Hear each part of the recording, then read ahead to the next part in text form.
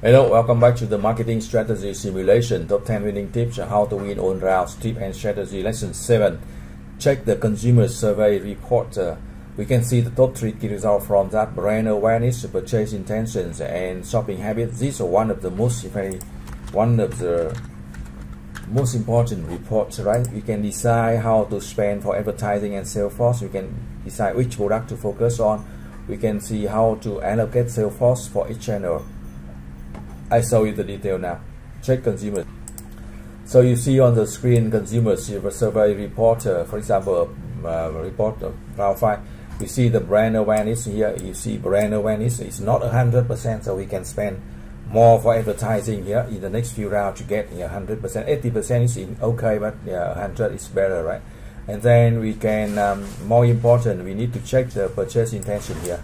Purchase intention of uh, each uh, a customer for each product is very important. So we can decide uh, decide what segment is the target to focus on. For example, if you take the soft as an example, we see that 40% uh, in the baby boomer and 20% of Gen Z win by. So target market baby boomer and Gen Z.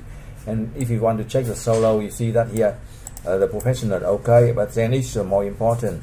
31% right but not millennium we need to focus more on millennium if you want uh, if you want to check for the Vodite, segment, you see that purchase intention is very good for the new product here, 100%.